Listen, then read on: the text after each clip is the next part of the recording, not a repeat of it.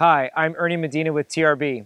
Today I want to talk a little bit about shooting from uh, different positions and one position in particular, uh, and that is from the, the, the, the seated position. So uh, not every time that we are encountered with a CCW uh, type situation, if many of you out there that carry probably have seen videos of different situations online, uh, but not all of them start with the, the, the defender facing their target, ready to draw, and so on. So we must practice uh, from certainly different shooting positions, and we also need to practice drawing from those different positions. One today I want to talk about is that seated position and how we uh, draw and how we get rounds on target effectively uh, from the start from that position. Okay, and there's a couple things uh, uh, we need to focus on because it could be uh, that I need to draw from my car if I'm driving. Uh, and also, if, if let's just say I'm seated at a table, I'm in a movie theater, whatever that I'm doing where, where I'm seated, I need to be able to put rounds on target quickly before I either stand up, go down, or whatever I need to do in order to get into my, my shooting position. So we're going to talk a little bit about that today. So a couple things to note from this position. One, if I'm in my car, so I'm, I'm driving, certainly I have my, my seatbelt on, Depending if you're a left or right-handed shooter, you have to have some considerations about your draw. So if I'm a left-handed shooter like I am, I have the door right here. So drawing for me is not necessarily as easy as a task with all the room that say uh, right-handed folks have, okay? Now, uh, similarly, uh, for right-handed folks, the, uh, the seatbelt converging over here on my right side in the vicinity where my, my hip holster would be, that's also something to, to consider. Uh, so just know how you're going to draw in that particular situation. If you are right-handed uh, right-handed shooter, then what I may want to do is sneak or practice sneaking my hand underneath the uh, the shoulder strap of the belt, and then meeting my my primary hand at the point of draw. Remember, you obviously have to get to your garment to clear that. So I would get in here, clear my garment, and then draw. Okay. If you're an appendix uh, carry type person, then you're going to have uh, your firearm uh, coordination right here. Now again, you have clothing that'll probably be in the way if you're concealed carrying. So a couple things to consider is that how does this, this uh, shoulder strap play into my draw? Do I pull it out, uh, pull out the shoulder strap, and then pull up on my clothes and then draw? That might be a separate step.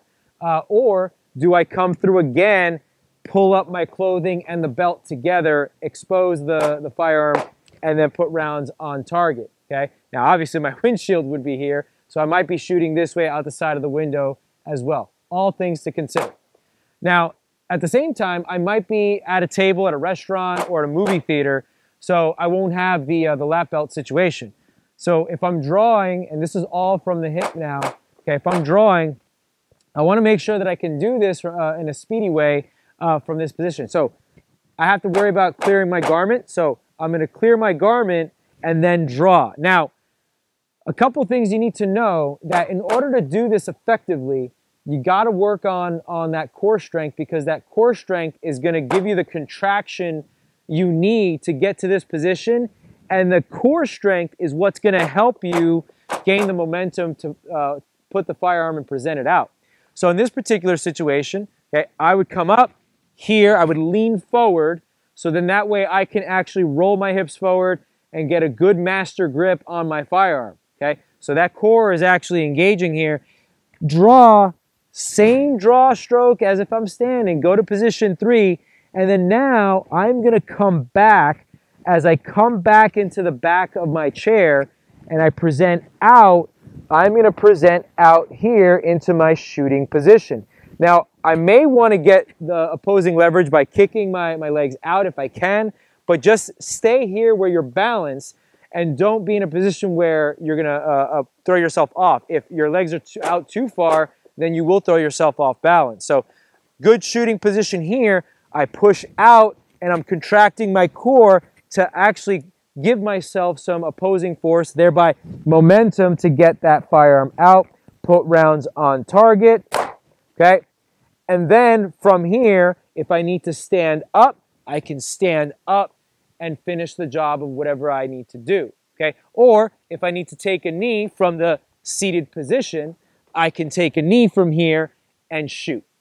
Okay, so shooting or drawing and shooting from the seated position, okay, here is something that you need to practice and it just doesn't come naturally is that you have to work on getting that core strength coming forward, contracting forward, clearing whatever garment. If it's a jacket, clear it with the uh, primary hands, okay, which might be uh, uh, challenging because you'll be stopped by the seat back or if there's any anything here, another person, another seat back here, okay? So practice that.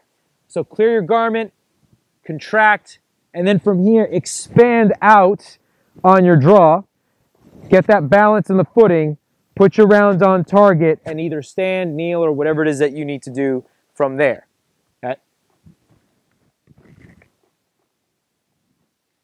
So another thing to consider when you're practicing the various shooting positions, not just standing, not just kneeling, you need to be able to shoot uh, from any position that, that, that gets thrown at you because in real life, you're not going to have the luxury in most cases to be facing your target, uh, uh, given prep time, ready to go. It's not going to work out that way you might already be in a compromised position of some kind. You need to be able to make the best of it. Hope you enjoyed the video, and if you did, like and subscribe with the buttons below, and hit that bell to be alerted for future videos.